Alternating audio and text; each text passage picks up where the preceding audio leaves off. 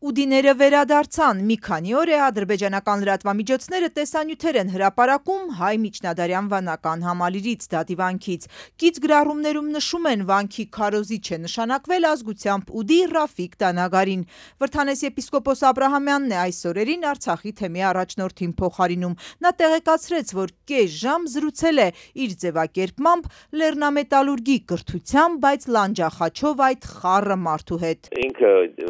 ձեռնադրություն չուներ հոգևորականի։ Ինքը հոգևորական չէր, բայց կրում էր լանջախաչ, որի իրավունք չուներ։ Ըստ մեր եկեղեցու եւ ըստ ուղափառ եկեղեցու։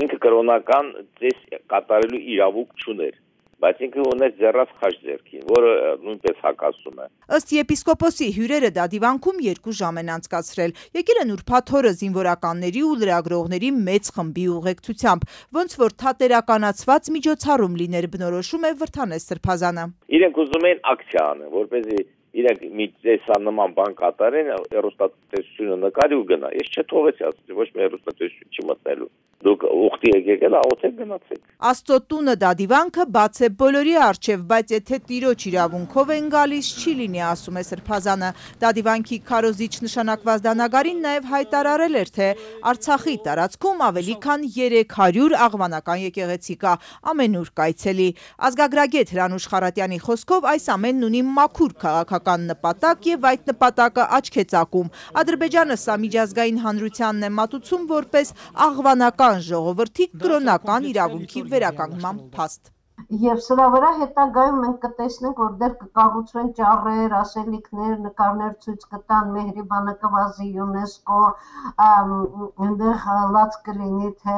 աղվանական կառույցները ինչպես են իրենց ձեռքից գնացել եւ եւ այս բոլորի մեջ անհայտ է թե իրենք ովքեր են։ Ըստ Խարատյանի աղմանական ժողովուրդներից մնացած ուդիներին է Ադրբեջանն ընտրել կեղծիկ ցուցադրելու համար։ Ուդի ժողովուրդը Ադրբեջանում մոտ 3500 հոգի քաղաքական գերիներ են դարձել, ասում է Խարատյանը։ Հիմա էլ կրոնական նոր համայնք են ձևավորում նույն Ռաֆիկ Տանագարիի առաջնորդությամբ։ Ադրբեջանի ուդիները հայ առաքելական եկեղեցու հետևորդներ էին։ Ադրբեջանը մի ուդիի ուղարկեց Երուսաղեմ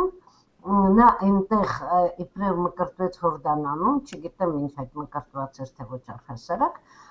եւ վերադարձավ եւ հայտարարեցին, որ նա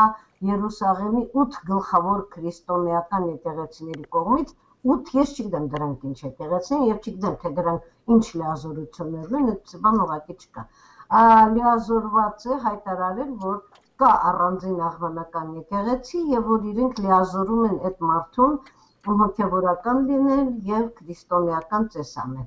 Հնագույն աղվանական եկեղեցի Խուդավենք ըստ ադրբեջանական լրատվամիջոցի այստեղ են այցելել քրիստոնյա աուդիները։ Հրանուշ Խարատյանն անհեթեթ է համարում այն, որ այժմ հայկական կողմը ստիպված է դադիվանքի հայկականության պաշտպանությամբ զբաղվել։ Նա վստահ է ուդի թե թուրք կարող են դադիվանք այցելել մոմ վառել, բայց կրոնական ծես հնարավոր պետք է դառնա միայն հայ առաքելական եկեղեցու թույլտվությամբ։ Այսօր ինձ ուդիները անընդհատ գրում են, թե դե մենք ենք հայ առաքելական եկեղեցու հետևում ճիշտ է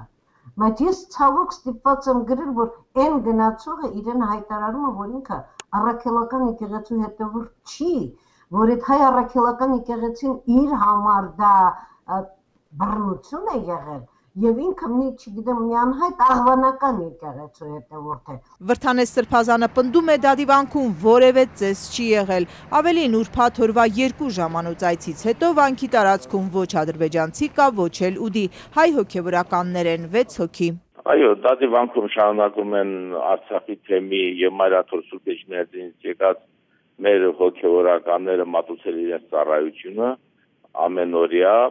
ժամերկություններ, պատարակներ, հսկումներ։ Սրբազանի տեղեկացմամբ վանքի տարածքում այժմ հայ հոգևորականներն են ռուս խաղաղապահների հետ իր ձևակերպմամբ եղբայրական մթնոլորտում։ Տարածքում ճիշտ է բազմաթիվ խնդիրներ կան, չկա հերախոսակապ, հոսանք, հոգևորականները մոմի լույսով են։ Այս Կիրակի Ստեփանակերտից դարձյալ հավատացյալների ավտոբուս է մեկնելու Տադիվանք պատարագի։